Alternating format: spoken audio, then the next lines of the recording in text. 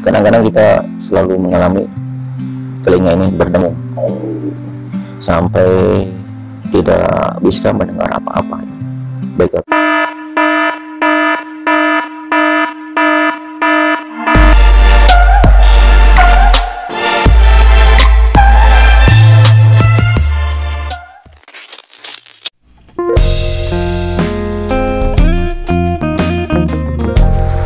Assalamualaikum warahmatullahi wabarakatuh bersama Dedi Rupani Channel.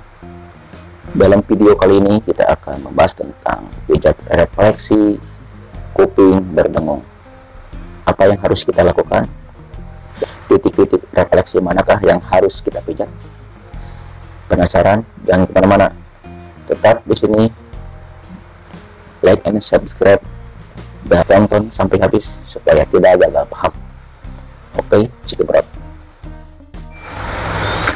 Kadang-kadang kita selalu mengalami telinga ini berdengung sampai tidak bisa mendengar apa-apa. Baik, baik itu di sebelah kanan atau sebelah kiri atau dua-duanya. Ini ditenggarai karena fungsi ginjal ada gangguan atau kurang berfungsi karena tegang, karena stres, itu bisa berhubungan dengan kuping. Ada saraf-sarafnya ya. dan gimana cara atau gimana apa yang harus kita lakukan? Di manakah titik-titik refleksinya yang harus kita pijat? Kita pijat sebelah sini ya. Kita akan melakukan pemijatan di telapak tangan. Yang pertama adalah kita pijat titik kelenjar ginjal. Nah di sini kan ya. Ini pas di titik refleksi ini. Ini titik refleksi ginjal sebelah dalam kelingking sebelah dalam kita pijat seperti ini. Jangan terlalu lemah jangan terlalu keras. Pelan-pelan saja. Setengah-setengah. Sedang-sedang saja. Kita pijat antara 3 sampai 5 menit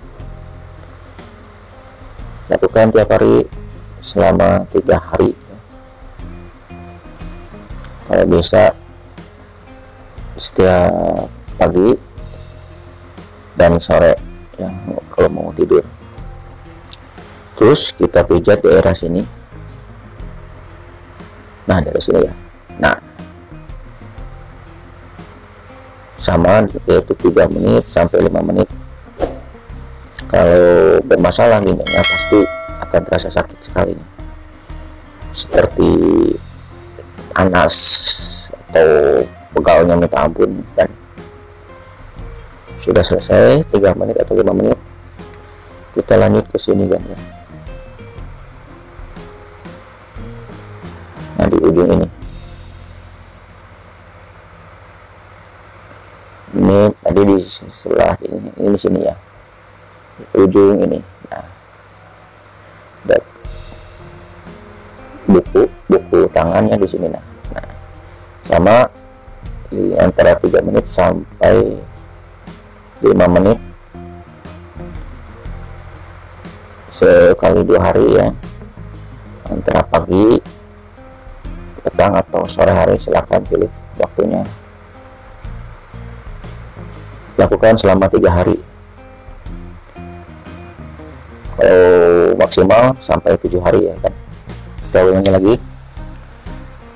Yang pertama sebelah sini titik ginjalnya nih kelenjar ginjal ya.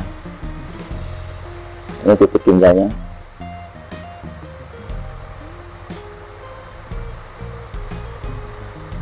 tiga menit sampai lima menit. Kedua ini. Ketiga ini oke semuanya mungkin informasi yang sedikit ini moga-moga bermanfaat bagi agan-agan semuanya di mana pun berada. Semoga sehat-sehat selalu sekeluarga dan penyakitnya cepat sembuh. Amin ya rabbal alamin. Dan yang sakit ya yang sakit semoga cepat sembuh. Amin ya rabbal alamin. Saya dari Rupani Channel mengucapkan Assalamualaikum warahmatullahi wabarakatuh